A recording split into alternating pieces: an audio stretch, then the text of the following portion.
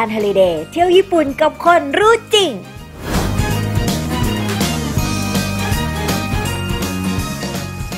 อะ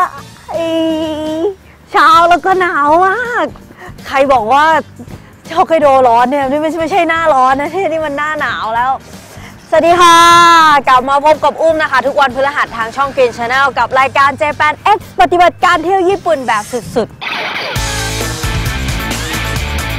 เมื่อสัปดาห์ที่แล้วอุ้มพามาถึงที่เมืองบอมเบสือเรียบร้อยแล้ว แต่ว่ายังไม่ได้เที่ยวที่ไหนเลยสำหรับวันนี้นะคะ น่าจะเป็นวันแรกที่จะได้เที่ยวกับเมืองชื่อว่าเมืองบอมเบสือแบบเต็มๆเลยนะคะ เพราะว่าอุ้มจะพาเที่ยวตั้งแต่เช้ายันถึงเย็นเลย จะให้รู้เลยว่าที่นี่เนี่ยเมืองเล็ก ๆ แบบนี้เนี่ยเขามีที่เที่ยวเยอะแยะแล้วก็น่าสนใจแค่ไหน ตอนนี้ก็เอ่อ9โมงเช้าแล้ว ได้เวลาที่เที่ยวที่แรกก็คือ ชื่อว่าโอโคสึทาวเวอร์เดี๋ยวจะไปยังไงตามอุ้มไปเลย ตรงนี้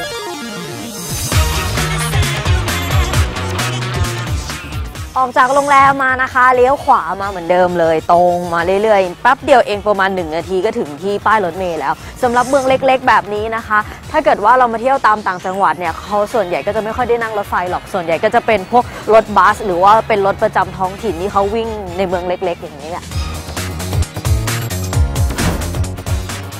จากโรงแรมที่เราพักนะคะ ก็เดินมาไม่ไกลเดินกลับมาที่ป้ายรถเมล์ที่อุ้มมาเมื่อวานนี้นี่ตรงนี้เอง วันนี้นะคะเราจะไปที่โอโคสึเป็นที่แรก จากนี่ไปก็จะไปได้ 2 ทาง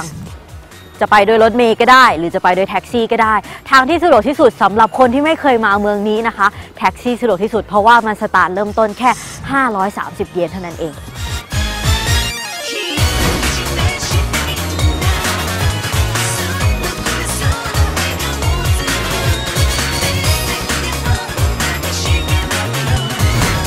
มาถึงแล้วนะคะโหยังหนาวไม่เลิกเลย อากาศ ตอนนี้นะคะ อุ้มอยู่ที่เขาเรียกว่าโอโคสึ Tower นะคะ ตรงนี้มันจะเป็นเหมือนคล้ายๆ กับพิพิธภัณฑ์สัตว์น้ำแต่ว่ามันจะเป็นสัตว์น้ำที่มีแค่เฉพาะเมืองของเมืองมอนเบทสึเท่านั้น เพราะว่าอยู่ติดกันเลยนี่เป็นทะเลโอโคสึเขาจะมีสัตว์ทะเลแปลกๆ ที่มันไม่สามารถหาได้ในทะเลอื่นเนี่ยเขาจะมาแสดงอยู่ที่นี่สำหรับหน้าหนาวนะคะ ใครที่มาแล้วก็มาเจอกับหิมะหรือว่าน้ำแข็งเยอะๆเนี่ยเขามีนี่เลย การิงโกะ Station เห็นไหม ตรงนี้เนี่ยจะเป็นที่ที่ไว้ให้สำหรับนักท่องเที่ยวเนี่ยขึ้นไปบนเรือ เรือมันจะเป็นเรือแบบเรือตัดน้ำแข็ง แล้วก็มีสกูปุ๊บปุ๊บปุ๊บปุ๊บปึ๊บอย่างเงี้ยเลยสำหรับหน้าหนาวก็สนุกไปอีกแบบหนึ่งแต่ว่าตอนนี้เนี่ยหน้าร้อนอุ้มพาเข้ามาดูที่โอโคสึ Tower เดี๋ยวอุ้มพาไปดูว่าข้างในมันจะมีสัตว์อะไรน่ารักน่ารักบ้างไปปะ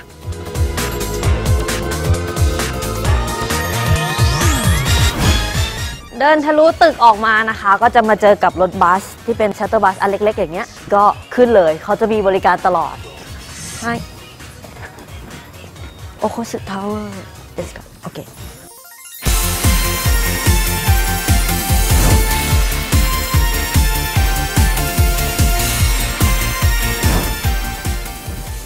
ถึงแล้วเข้าไปในนี้เลย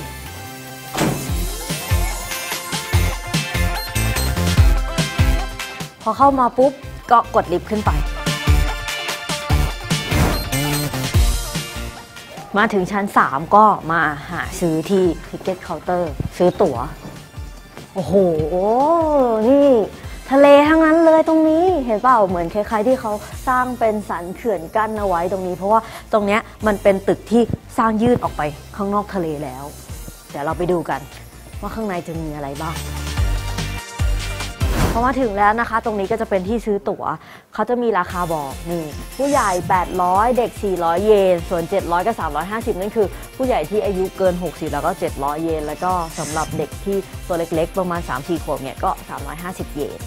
เดี๋ยวซื้อตั๋วก่อน โอเควันเซ็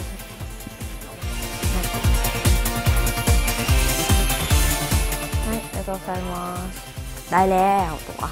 มาที่ชั้น 3 นะคะ ตรงนี้เขาก็จะเป็นเหมือนกับจุดชมวิว ให้เห็นโดยรอบเลยนี่ 360 องศา สามารถมองเห็นทะเลโอโคสึได้รอบเลย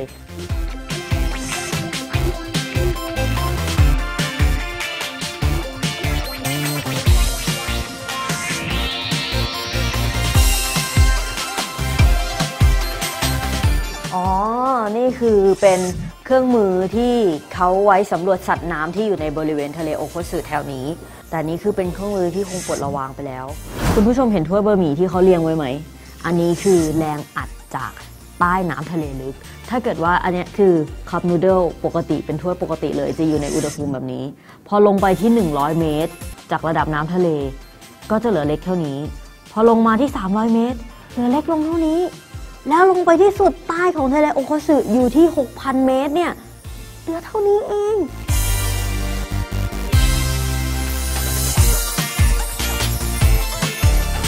อันนี้เราลงมาชั้นข้างล่างสุดแล้วนะคะ ก็จะเป็นชั้นที่เขาไว้โชว์ว่าทะเลตรงแถวนี้เนี่ยมันมีสัตว์อะไรอาศัยอยู่บ้างปะ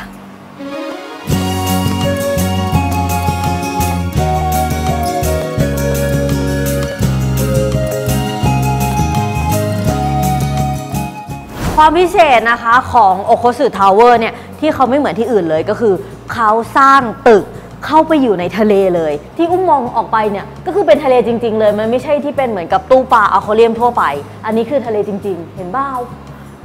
โหนี่กำแพงหนามากกระจก ถ้าเกิดว่ามันแตกนะแล้วอุ้มทะลุออกไปนี่ออกไปที่ทะเลโอโคสึเลยเรียบร้อย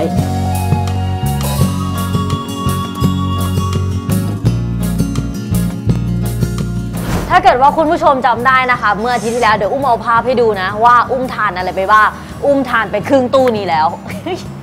เพราะว่าดูหอยซูบูไกอันนี้ที่มันผัดกับเนยใส่พริกไทยอร่อยๆเนี่ยก็คือเจ้าตัวนี้เลย ส่วนอันนี้ป้าชิมาโฮเกะไงที่อุ้มบอกว่าเนื้อมันมันมากรู้ตัวปะเนี่ยว่าอร่อยอะฮะแล้วก็จะมีตัวนี้อีกนี่ ตัวนี้คือตัวเจ้าปลาทารา ที่เขาเอาไปทำเป็นต้มแล้วก็ใส่กับซีอิ๊ว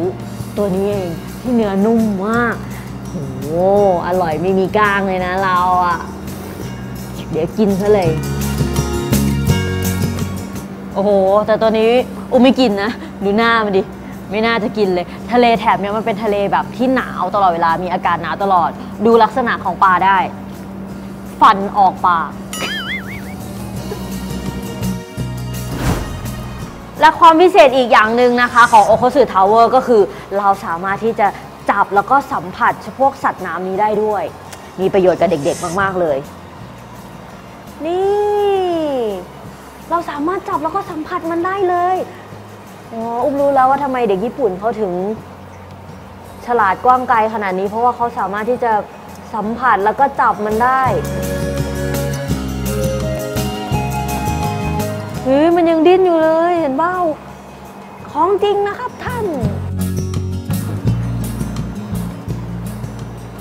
เห็นปะใหญ่มาก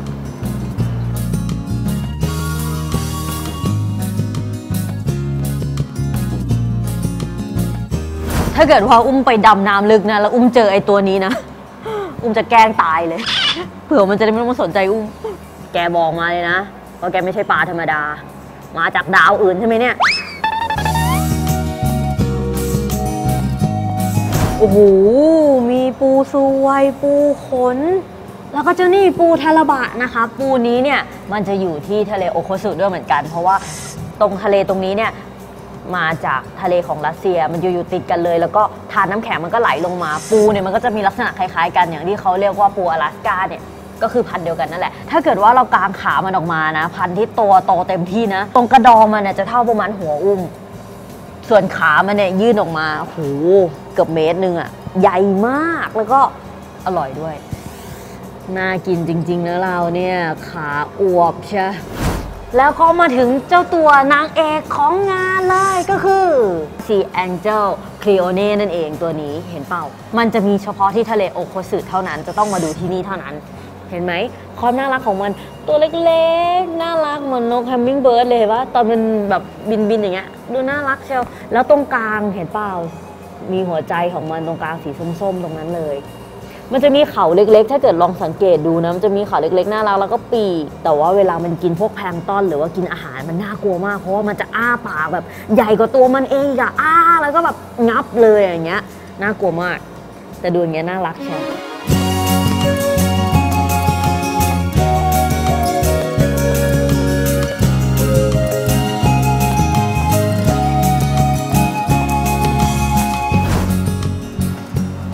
นี่ มันอาจจะแสงแบบไม่เยอะนะ เพราะว่าเขาไม่สามารถที่จะให้ใช้แฟลชได้เพราะว่ามันจะรบกวนสัตว์น้ำแต่เดี๋ยวอุ้มจะพาไปอีกที่หนึ่งที่นั่นนะ เพื่อนๆ เคยเห็นแมวน้ำไหมเคยเห็นใกล้แค่ไหนแน่รับรองว่าเดี๋ยวอุ้มจะพาไปแบบ close up ที่สุดเลยไปะ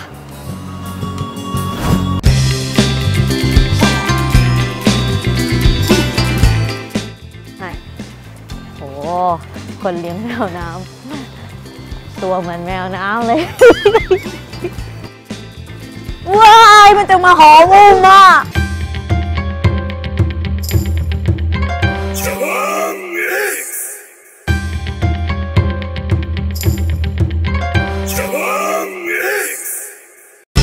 สนับสนุนโดย องค์การส่งเสริมการท่องเที่ยวแห่งประเทศญี่ปุ่น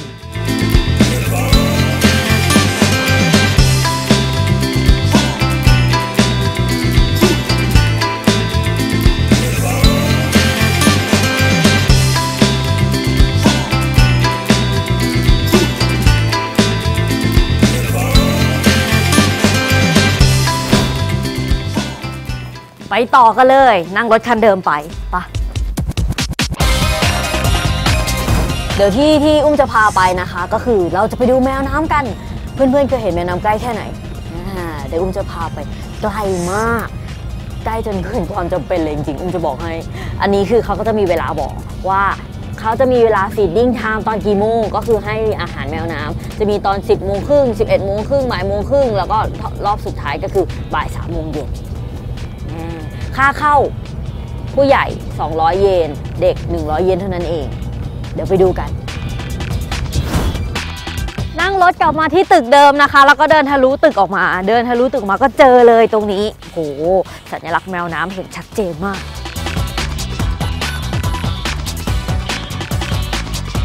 ถึงแล้วไม่ต้องกลัวหลงนะเนี่ยโหสัญลักษณ์ชัดเจนมาก เจ้าน้องแมวน้ำปะ ค่าเข้าคนละ 200 เยนนะคะ แต่ว่าถ้าเกิดว่าเพื่อนๆคนไหนเนี่ยไม่มีเหรียญก็ไม่ต้องกังวล เอาแบงค์พันใส่เข้าไปในนี้เลย อันนี้มันเป็นเครื่องแลกเหรียญ ใส่ปุ๊บ มันก็จะมีเหรียญร้อยออกมาให้ 10 เหรียญ ชุบร้อยสองร้อยบาท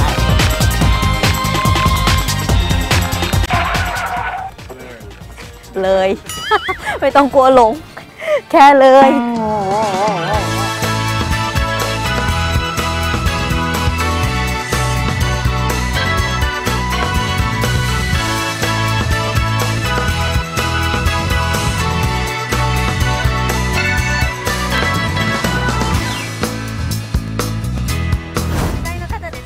ใช่ใช่เลยใช่โอ้คนเลี้ยงแมวน้ำ ตัวเหมือนแมวน้ำเลย มันนี่ชื่อว่า 中入ってもらうときにですねここで手の消毒となんでここあーで手を洗ってタオルで拭いてから中に入ってください เขาบอกว่าให้เราล้างมือก่อนเพราะว่า เพื่อความสะอาดสำหรับเราแล้วก็แมวน้ำด้วย 卵子がここまで出てくるんですけど、うん最後に実際に少し触ったりとか นี่เพื่อนๆ เคยเห็นแมวน้ำใกล้แค่ไหน อุ้มบอกแล้ว อุ้มจะพามาใกล้ที่สุดเลย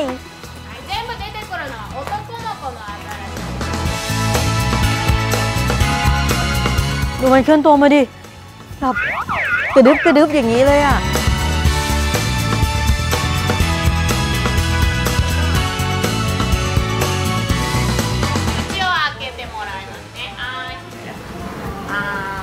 อ่า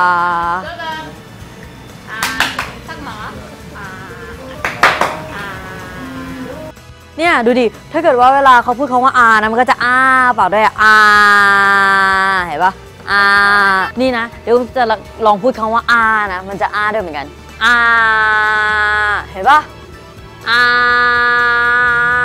โหปากกว้างจังอา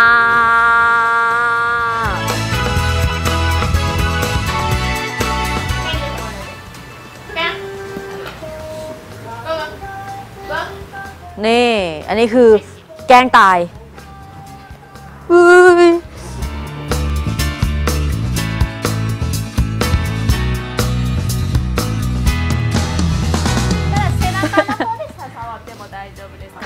เขาบอกว่าเราสามารถที่จะแตะหลังเขาได้ด้วยนะ ดูนะอื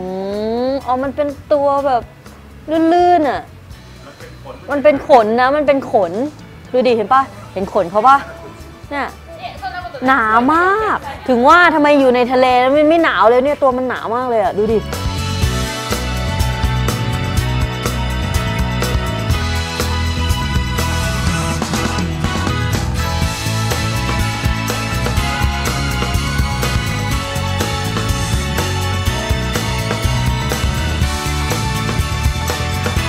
นี่พี่เขาก็อยู่กับ แมวน้ำทั้งเจ็ดเหมือนสโนไวท์เหมือนกันนะเขาก็สามารถที่จะคุยกับมันสื่อสารกับมันได้รู้เรื่องด้วย แต่ว่าดูดิมันมันใกล้มากๆเลย ตัวพวกนี้เนี่ยเขาบอกว่ามันยังวัยรุ่นอยู่เลย มันอายุแค่ 23 ปีเอง 23 ปีมันเออเหมือนคนเลยเนอะแบบกำลังวัยรุ่นเลยเพราะว่าเขาบอกว่ามันเนี่ยจะอายุได้ถึง 60 ปีด้วยกัน ตอนนี้มันก็คือถือว่ายังอยู่ในอนุบาลสัตว์น้ำอยู่ยังเป็นเด็กอยู่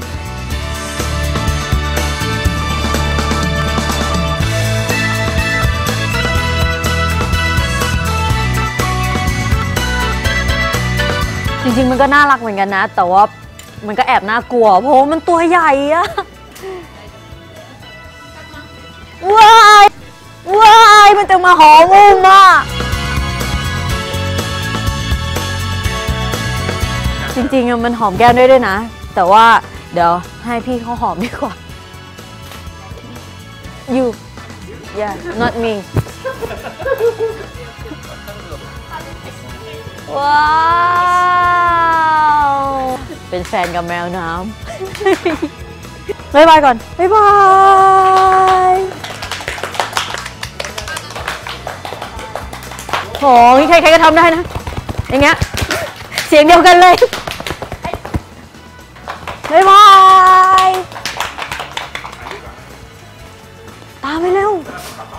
พวกเราส่งมันกลับบ้าน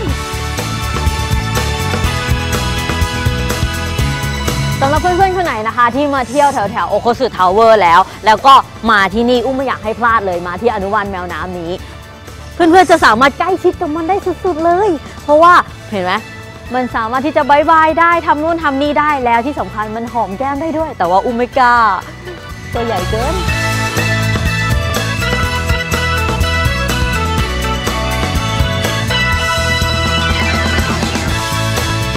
รีบๆมาดูนะ เพราะว่าแมวน้ำเนี่ยไม่รู้อีกกี่ปีจะหมด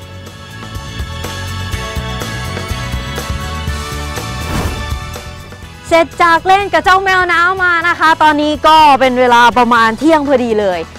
ตั้งแต่เช้านะ 9 โมงเช้าไปที่โอโคสึ Tower ไปดูเจ้า sea angel จนมาเล่นกับเจ้าแมวน้ำเนี่ย ก็ใช้เวลาไปประมาณสัก 3 ชั่วโมง ถึงตรงนี้ก็ประมาณเที่ยงพอดี ได้เวลาทานข้าวแล้ว เดี๋ยวอุ้มจะพาไปทาน ร้านนี้ชื่อว่าร้านมารุไคอิจิ นั่งเดี๋ยวนั่งแท็กซี่ไปไป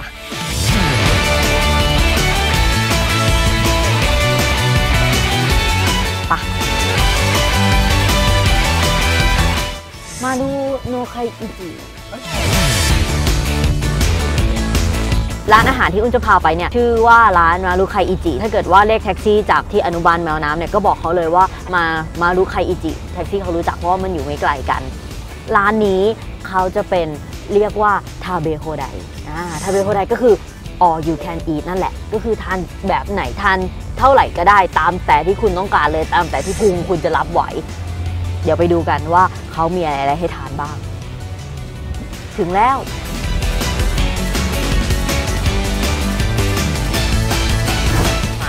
เข้ามาเลย ร้านมาลุไคจิชั้นสองบันไดเขียวขึ้นมาเลย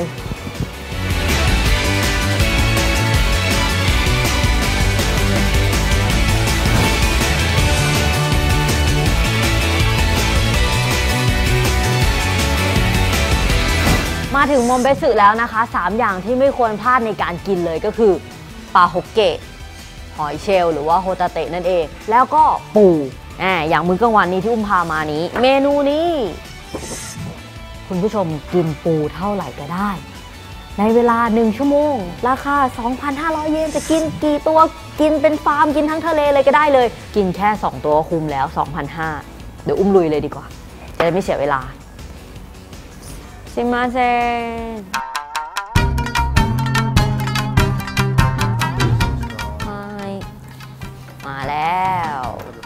เจ้าปูเนาะนี่เขาบอกว่าทาเบโฮไดก็คือเท่าไรก็ได้ เขาเริ่มเอาปูตัวแรกมาให้อุ้มแล้ว อันนี้ก็เป็นซุปปู แล้วก็ข้าวปั้นจะทำเป็นต้นเลยโอเคอะไรก็ต้องการมานี่เขาให้มาก็คือวิธีการทานปู มีทั้งหมด 8 ขั้นตอนด้วยกัน เดี๋ยวอุ้มจะสอนวิธีการทานนะสำหรับปูตัวนี้ก็คือเจ้าปูนี้ขั้นตอนแรกเลยก็คือ หยิบปูขึ้นมา ขั้นตอนที่ 2 กะกระดองมันพามนี่ขั้นตอนที่3บีบปูออกมาครึ่งหนึง แบบนี้โอ้โหมันปูแบบเยอะมากอะมาถึงขั้นตอนทีสี่ 4 นะคะ แล้วก็อันนี้คือเจ้ากันไก่ ตัดส่วนที่เราไม่กินทิ้งไป มันก็เป็นพวกขนเป็นอะไรอย่างเงี้ย ตัดออกไปเลย ที่เราไม่กิน เสร็จแล้วก็ตัดตรง ขาปู ตัดทีละขาแบบนี้นะ ตัดตรงกลางนี้เลยพอได้เป็นอย่างนี้ปุ๊บ เราก็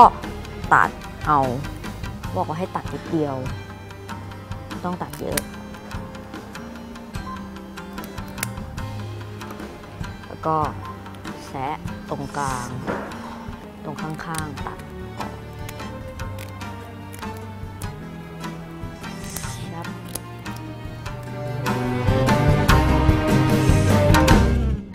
ไปปุยเนื้อให้มันฟูๆขึ้นมา ก็กินเลยอืมเนื้อหวานเลยไม่ต้องจิ้มอะไรเลย คนญี่ปุ่นเขาไม่ค่อยจิ้มอะไรนะ ไม่มีน้ำจิ้มซีฟู้ดหรืออะไรทั้งนั้น เขาก็กินกันสดๆเลยเพราะเขาต้องการที่จะรู้รสชาติของเนื้อปูว่าอ๋อปูรสชาติแบบนี้เนี่ย มันรสชาติยังไงที่เป็น original อืม มันหวานอย่างนี้นี่เอง นี่ถ้าเกิดคุณผู้ชมเคยเห็นมันปูที่บ้านเรานะมันก็จะเป็นสีออกแดงๆส้มๆ แต่ว่าถ้าเกิดว่าเป็นปูน้ำลึกปูทะเลแบบที่ญี่ปุ่นเนี่ยเขาก็จะเป็นมันสีออกเขียวๆดำๆแบบนี้มันไม่ใช่ขี้ปูนะมันคือมันปู รสชาติมันก็จะเค็มๆมันๆ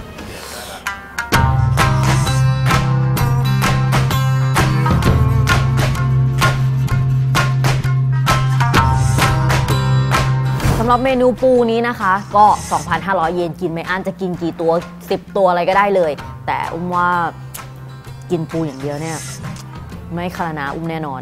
อีเตานี่ใช้ยังไงเนี่ยสงสัยไว้ปิ้งปลาปิ้งหอยเดี๋ยวอุ้มสั่งเพิ่มเลยดีกว่าชิมาเซ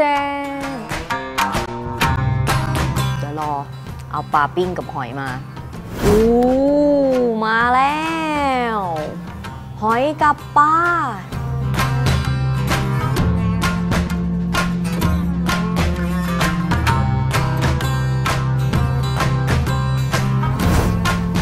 ที่อุ้มพามาร้านนี้นะคะ เพราะว่าส่วนหนึ่งเนี่ยเขาเป็นบริษัทที่ส่งปูจับปูพวกอาหารทะเลสดๆแบบนี้ส่งขายทั่วประเทศญี่ปุ่นเลยเขาก็เลยทำหน้าร้านเพื่อที่อยากอยากจะให้คนแถวๆบริเวณนี้ได้กินของสดๆ แล้วก็ราคาไม่แพง อุ้มก็เลยพามากินร้านนี้ ทั้งสดทั้งอร่อยแล้วก็ราคาไม่แพงด้วย เจ๋ง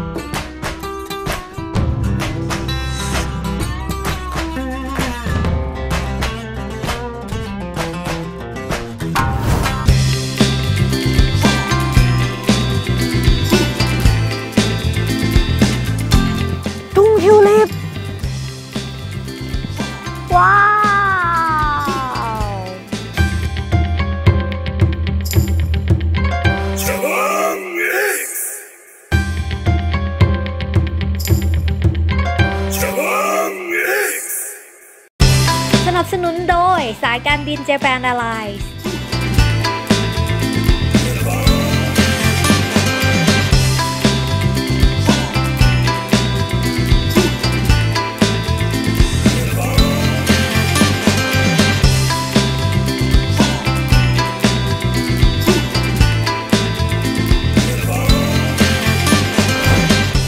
เดี๋ยวเราจะไปเที่ยวกันต่อนะคะ วิธีการไปง่าย ๆ เลยก็คือเรียกแท็กซี่ ให้ที่เคาน์เตอร์ที่เราจ่ายตังค์เมื่อกี้ให้เขาเรียกให้ แล้วเดี๋ยวเรามายืนรอตรงนี้เลย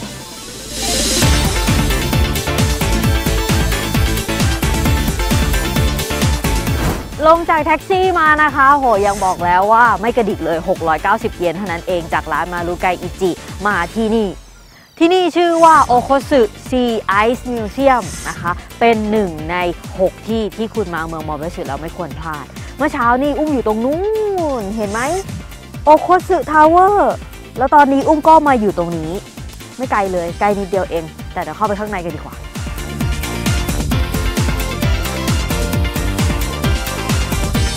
มาถึงตู้นี้ทำความคุณรู้จักกันนิดนึง อันนี้ไม่ใช่ตู้ขายราเมนนะอันนี้มันเป็นที่ขายตั๋วเขาจะมีราคาบอกเลยว่า อันนี้ผู้ใหญ่ 1 คน 750 เยน สามารถดูได้ครบทุกอย่างเลยที่อยู่ในนี้ อันอื่นสีอื่น ไม่ต้องสนใจ เพราะว่าสีฟ้าเนี่ยเป็นราคาเด็กเด็ก 1 คน 2 คน 3 คน 4 คน 5 คน เรามากี่คน 1 2 3 4 5 มาคนเดียว กดอันนี้ 750 ใส่เข้าไปแบงค์ปื๊ดนี่มันก็จะมีขึ้นกดเลย 750 ราคาผู้ใหญ่ 1 คน ตัวออกมาแล้ว กดเงินทอน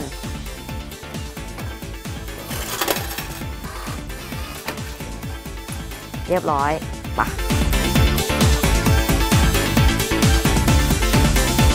นี่เข้ามาปุ๊บก็เจอเลย low temperature simulation rooms ห้องนี้อุณหภูมิลบ 20.4 องศาหน้าทาจะสนุกแน่ เข้าไปข้างในดีกว่า เราต้องเปลี่ยนชุดก่อน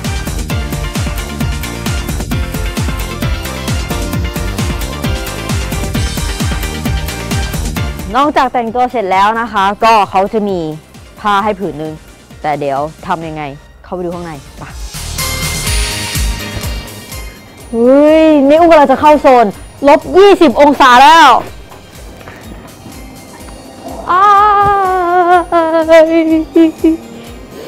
หนาวมาก พอเราเข้ามาอยู่ในลบ 20 องศาเสร็จเรียบร้อยแล้วเนี่ย จะทำให้รู้ได้ยังไงว่า คุณผู้ชมจะรู้ได้ไงว่าอุ้มหลอกหรือว่าจริง ว่ามันหนาวจริง เขาก็เลยบอกว่าให้เอาผ้าเช็ดหน้า แล้วก็ลองหมุนดูเงี้ยวแข็งมากดูดูดิเออแข็งจริง หนาวจริงเนี่ยอยากจะบอกว่า โอเคเลย เดี๋ยวลองลงไปดูข้างล่าง ว่ามันมีอะไรบ้าง นี่พอลงมาในนี้เขาก็จะจำลองพวกสัตว์ต่างๆ ที่มันสามารถอยู่กับน้ำแข็งได้ ที่อุณหภูมิลบ 20 องศาเนี่ยมันจะมีสัตว์อะไรที่สามารถที่จะมีชีวิตอยู่ได้ อย่างเช่นโอ้พระเจ้าเต่า ตัวใหญ่มากฟันมันแหลมด้วยอะ อันนี้ตัวจริงนะ แต่ว่าเขาสตาร์ฟไว้ ต่อมา โอ้ไม่ต้องพูดถึงมีขาวนั่นเองต่อไปเราเข้าไปอยู่ในทะเลกันบ้าง มานี่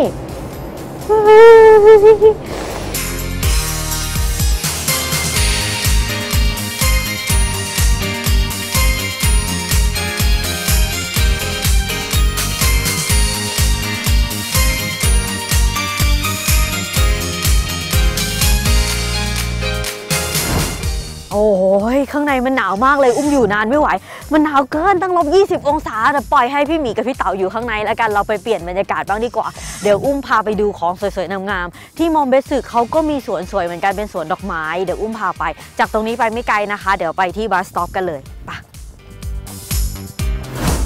นี่คุณผู้ชมเห็นไหม ป้ายสีเขียวๆนั่นน่ะที่มันมีรูปคนชู 2 นิ้วแบบนี้ ตรงนั้นน่ะคือป้ายบัสสต็อปป้ายรถเมย์ออกจากไอซ์มิวเซียมนะ เดินหาป้ายนี้ป้ายเขียวๆ ตรงไปเลยตรงไหนคือป้ายรถเมย์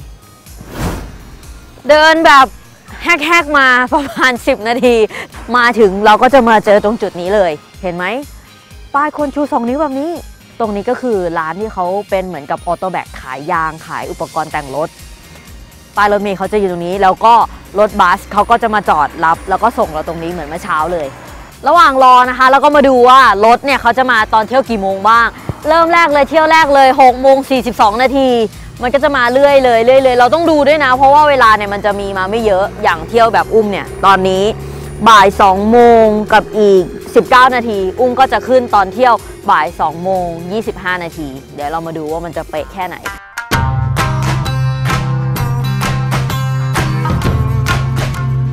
ตอนนี้เป็นเวลา2โมง25 นาทีเป๊ะ แม่เจ้าเขามาจริง ๆ ด้วย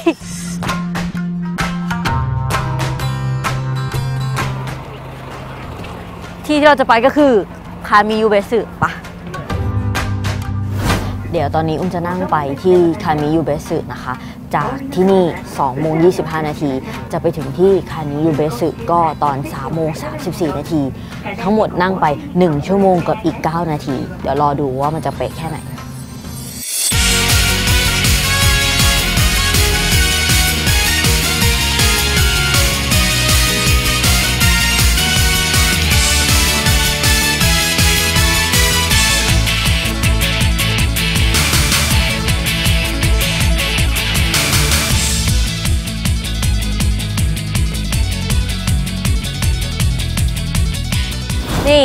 เราขึ้นรถที่ชื่อว่าคิตามิบัส เรามาลงที่สถานีที่ชื่อว่าทิวลิปโคเองจำไว้นะ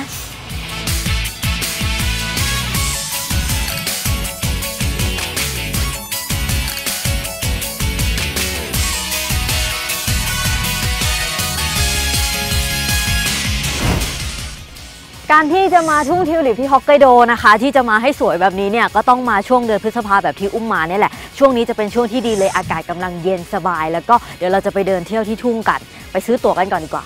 ตรงนี้เลย นี่เขาบอกราคาว่าตั้งแต่ 6 ขวบถึง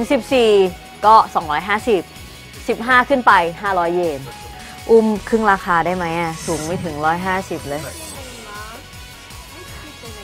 ให้ได้แล้ว 500 เยน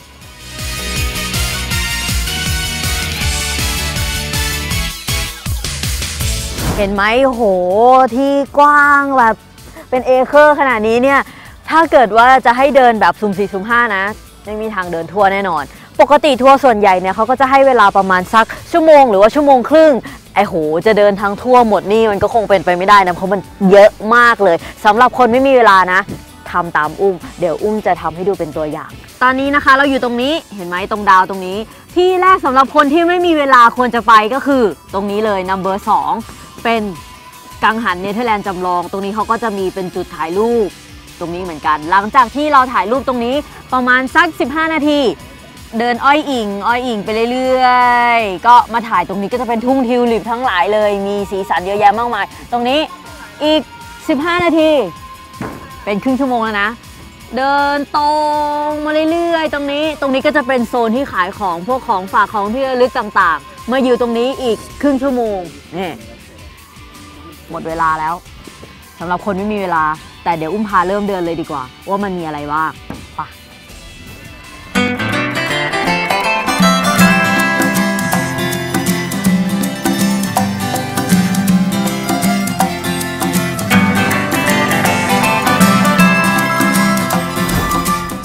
ดินเข้ามานะคะ จุดแรกที่เราจะเห็นเลยก็คือ อันนี้กังหันฮอลแลนด์จำลองเห็นไหมโอ้สวยงามจริง ๆ เดี๋ยวเราจะมาถ่ายรูปกันจุดนี้ก่อน ให้เวลานักท่องเที่ยวสำหรับคนที่ไม่มีเวลาถ่ายสัก15 นาทีนะจ๊ะ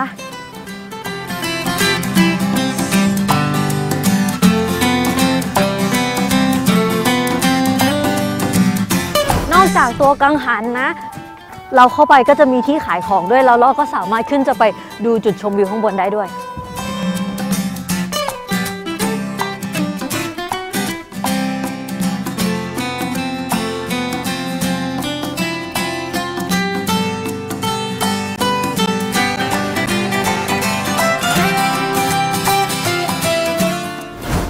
เสร็จจากตรงกังหันมานะคะ อันนี้ก็คือส่วนที่ 2 ที่นักท่องเที่ยวที่ไม่มีเวลาควรจะมา ก็คือ ตรงนี้ ทุ่งทิวลิป ว้าว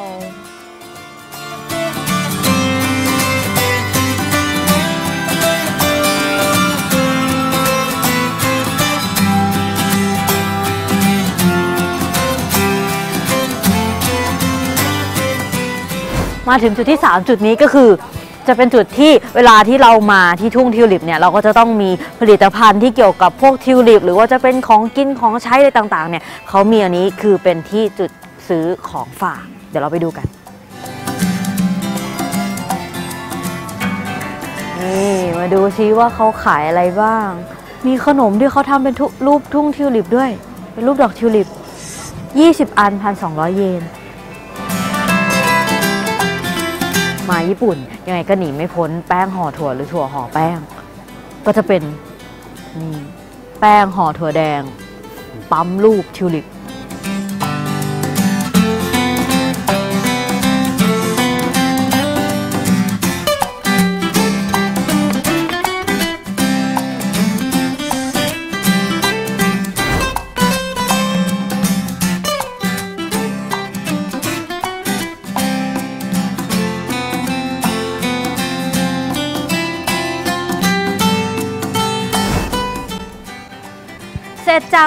ซื้อของฝากแล้วนะคะสำหรับคนที่ไม่มีเวลา ตอนนี้ก็ได้เวลาแล้วประมาณ4ี่โมงครึ่งครบ 1 ชั่วโมงครึ่งพอดีเลยสำหรับคนไม่มีเวลาก็นั่งรถบัสกลับไปได้แล้วสำหรับคนที่มีเวลาตามอุ้มมาเลย เดี๋ยวจะพาไป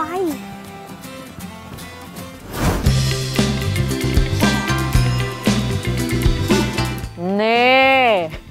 อันใหญ่เท่าหน้า ตกลงนี่ ทิวลิปบ้านเราเล็กหรือว่าที่นี่มันใหญ่เกินไปวะเนี่ย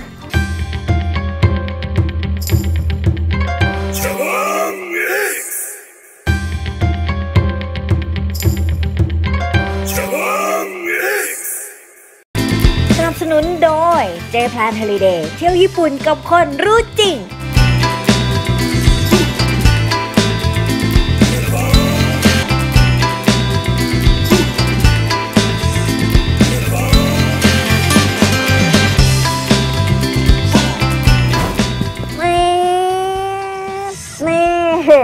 อนนี้อุ้มไม่ได้อยู่ในรถแข่งนะ แต่ว่าอยู่ในรองเท้ายักษ์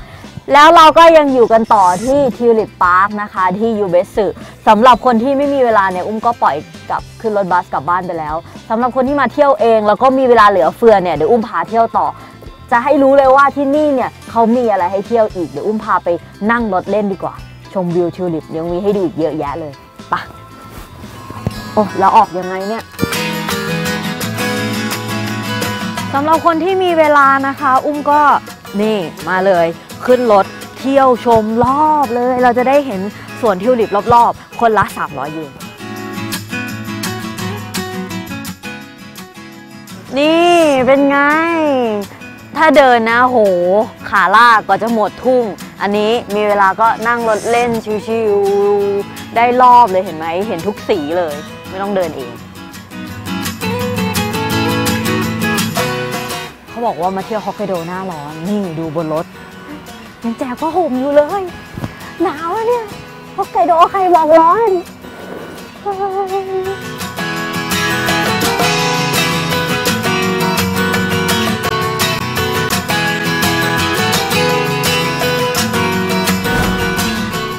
สำหรับคนที่ไม่มีเวลาเขากลับไปแล้วใช่ไหมเมื่อกี้เราไปนั่งรถมา เราก็จะได้รู้แล้วว่า เราอยากจะเดินตรงไหนเพิ่มเติมโอ้โหนี่ตรงสวนตรงนี้นี่คนที่ไม่มีเวลาเขายังไม่ได้เดินเลยนะ สวยมากๆเลยตรงนี้มีสองสีแบบสีสลับดอกใหญ่ๆทั้งนั้นเลย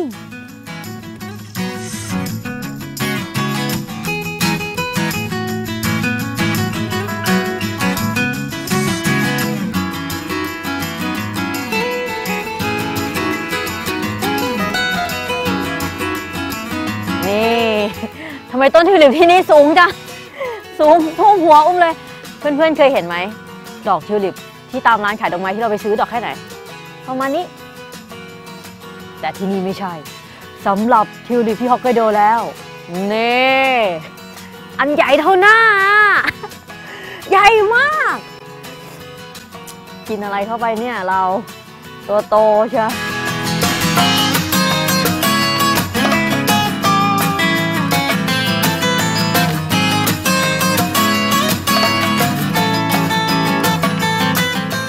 นี่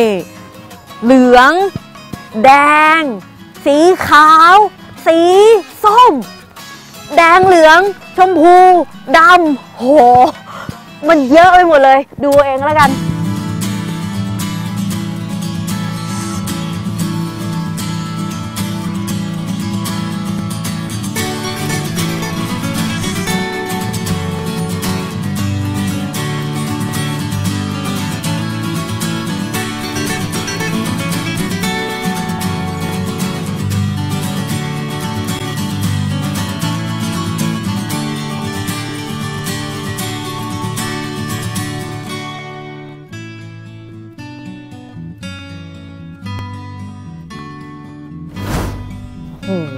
สีนี่สดชัดมาก ดอกใหญ่ด้วยอะตกลงนี่ทิวลิปบ้านเราเล็กหรือว่าที่นี่มันใหญ่เกินไปวะเนี่ย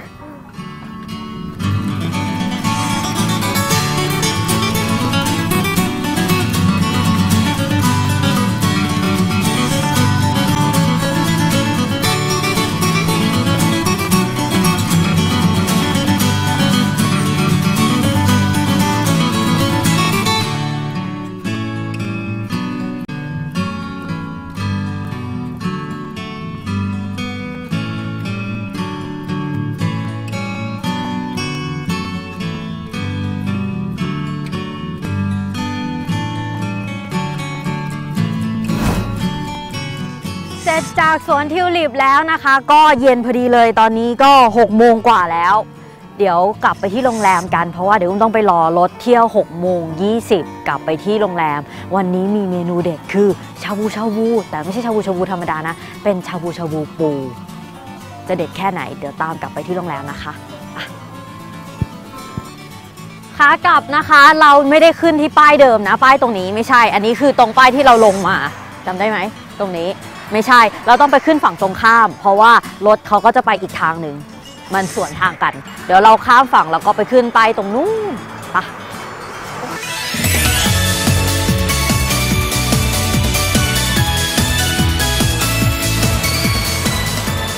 นี่มาถึงตรงนี้ก็คือจะเป็นป้ายรถที่เราจะนั่งกลับ เพราะว่าที่นี่เนี่ยเขาจะปิดตอน6โมงเราก็เดินข้ามกลับมา แล้วก็เดินมาจนมาถึงตรงนี้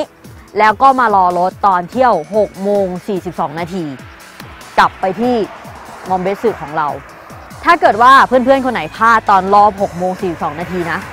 จะมีรอบอีกรอบหนึ่งก็คือทุ่ม 32 นาที แต่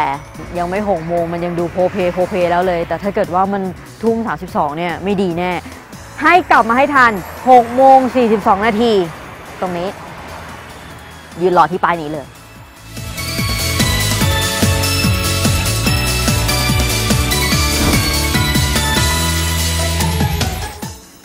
ลับมาถึงที่โรงแรมแล้ว ก็ขึ้นมาที่ชั้น 3 อย่างที่อุ้มบอกว่าวันนี้มีมือพิเศษที่โรงแรม เดินเข้ามานี่ อันนี้ชื่อร้าน เคยากิ เห็นไหม เข้ามาเลยอ่าคอมงวาสวัสดีค่ะ สวัสดีค่ะ พอดีว่าเย็นนี้มีสตาฟญี่ปุ่นเขามาช่วยดูแลที่ ระหว่างทริปเขาก็เลยมากินข้าวกับเราด้วย ทางโรงแรมเขาก็จัดให้อุ้มเป็นมื้อพิเศษเลยเห็นไหม แต่ว่าเพื่อนๆคนไหนที่อยากทานแบบนี้นะก็สามารถสั่งได้ที่โรงแรมขึ้นมาที่ชั้น 3 ราคาเซตนี้เนี่ย 5,250 เยนเท่านั้นเอง แต่ว่ามันไม่หมดแค่นี้นะ มันมีอีกเยอะแยะมากมายเลย โอ้โห ดูจากในรูปแล้วเนี่ย เพียบเลย เดี๋ยวมีทั้งของทอดด้วย มีทั้งข้าว มีของหวานอีก โอ้โห เยอะแยะเลย เดี๋ยวดูกัน ว่ามันจะมีเยอะแค่ไหน 5,250เยนเดี๋ยวอุ้มเริ่มกินเลยดีกว่าอิตาดากิมาสฮ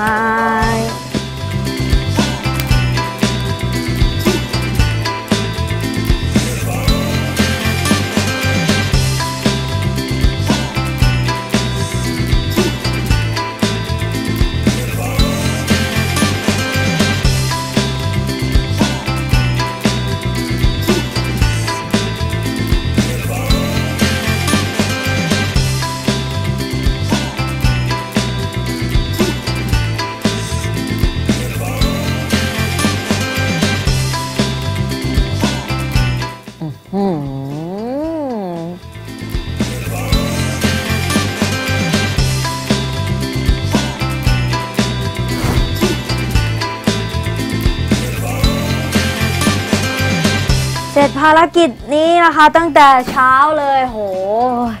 อุ้มออกจากโรงแรมไปตอน 9 โมงเช้านะ ไปขึ้นรถแท็กซี่ ไปที่โอโคสุ Tower ก็ประมาณสักไม่เกิน 10 นาทีก็ถึงแล้ว เที่ยวโอโคสึ Tower ดูอนุบาลแมวน้ำนะคะ ตรงนั้นเนี่ยใช้เวลาหมดไปตรงนั้นก็ประมาณเที่ยง แล้วอุ้มก็ไปกินข้าว มื้อนั้นนี่อุ้มกินปูไม่อั้นนี่แบบกลิ่นปูอยู่ในคออยู่เลย หลังจากกินปูเสร็จเรียบร้อย อุ้มก็ไปที่ Ice Museum หลังจาก Ice Museum ก็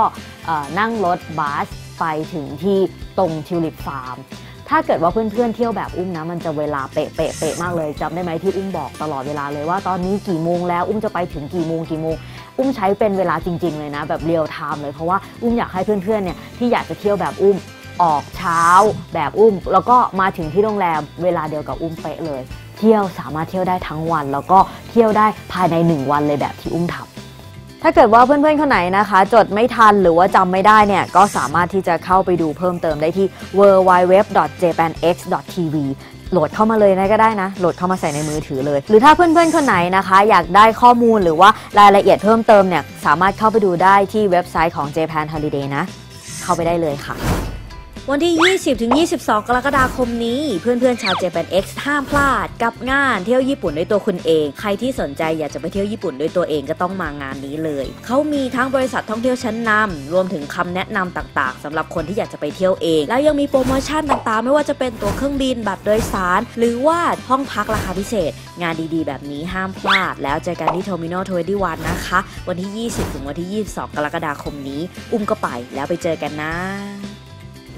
แล้วพบกันใหม่นะคะกับอุ้มรายการ Japan X ปฏิบัติการเที่ยวญี่ปุ่นแบบสุดๆ ทุกวันพฤหัสทางช่อง Green Channel นะคะ บ่าย3โมงวันพฤหัสหน้าเจอกัน สวัสดีค่ะ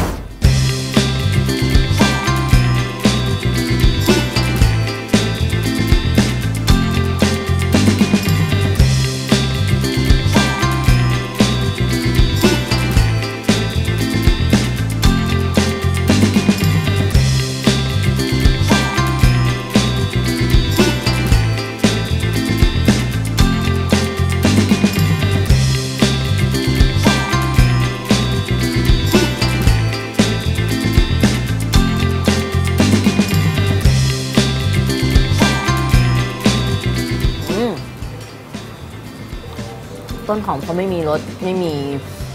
กลิ่นเหม็นเขียวเลย มันออกรสชาติหวานในเซอได้ซ้ำอร่อยดี